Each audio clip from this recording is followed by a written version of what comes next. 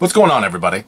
I recently upgraded my graphic card, which means now it's time for me to sell my old one. But before I do, I want to make sure there's a fresh application of thermal paste on there because when it comes to used products, a lot of the ones that still have some good value and power to them, one of the things that diminishes that over time, whether it's a graphics card or a processor, is that thermal paste. So we're going to show you today how to do that on this card.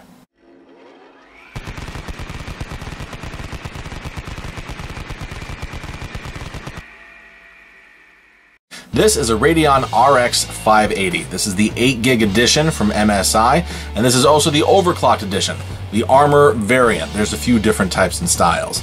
To this day, the Radeon RX 580 is still one of the best price performance graphics cards out there for 60 frames per second, 1080p, but of course that's going to be changing as games get better and stronger. This model doesn't have a lot of frills and thrills to it. Dual fan design, no backplate for this. So this is going to be an easy job. We're going to take care of these four screws right back here, and we're not going to worry about that little warranty sticker. Not anymore.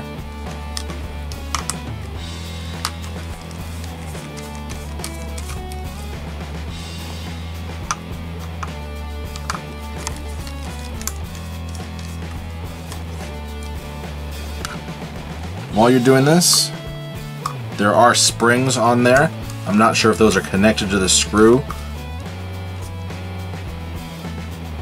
It looks like they are, so they shouldn't fly out. And for this little sticker here, just punch through. There we go. Like so. Now this should free the heatsink and fans from here. So we might need to, we might be able to just lift up or give it a little twist.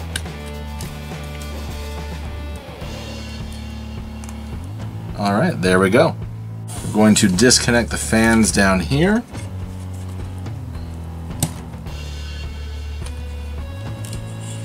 And I'm going to take a minute off camera because this has not been blown out and I'm not doing that in my game room. So this is pretty dusty. I'm going to clean this up and then we'll get back to it. Now that we have some of the dust blown off, we can take care of the old thermal compound.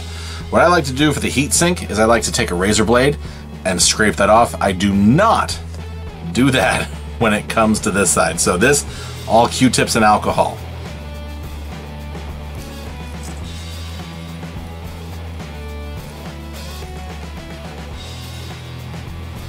With that majority off there, now we can clean that up.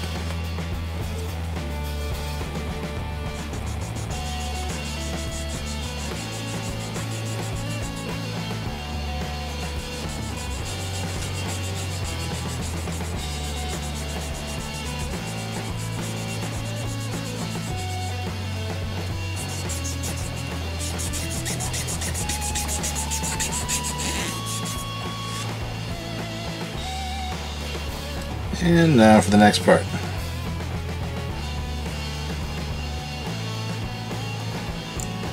Just be very careful and gentle. This is the heart and soul of the graphic card.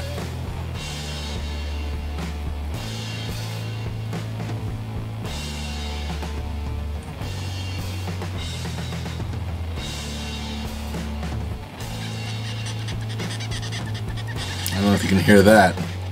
It's starting to sound squeaky clean. Is that the die or is that the eye?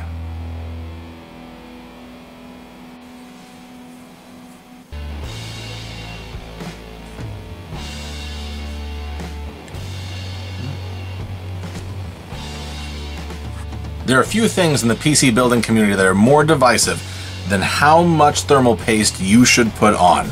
Um, and here's the thing, no matter what you think, someone out there thinks you're wrong.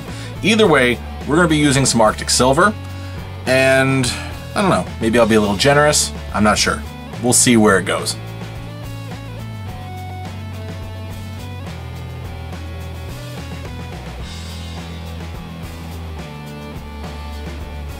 So with thermal compound, obviously you're creating a connection between the die and the cooler. So you really only need just a little bit because that's going to thin out. Some people want to put just a giant blob on there but usually something about the size of a pea should hit and spread. Of course, me being the paranoid guy that I am, I helped it spread a little bit ahead of time. All right, now, the moment of truth. Can we get everything lined up again? I really hope we do.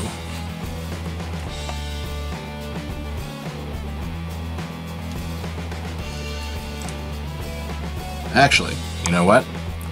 Fan first, then the lineup. Now we're going to get everything set fan first.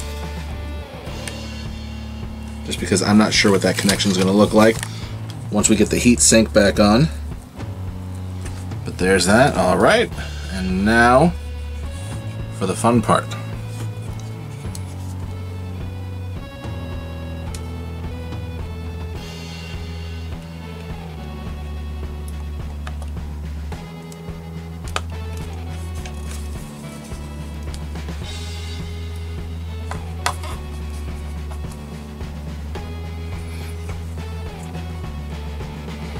There we go. All right, let's get those screws in.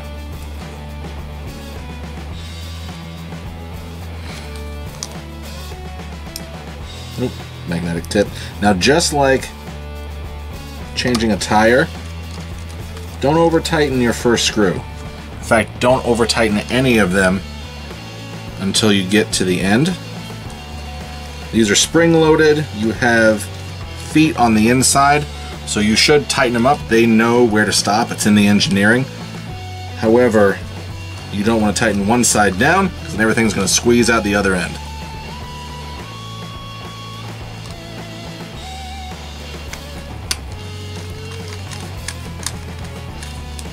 Alright, all the screws have bit. So I'm going to go through, do a couple turns, couple turns, couple turns, couple turns, until we get everything locked down. There you have it, reassembled and good to go.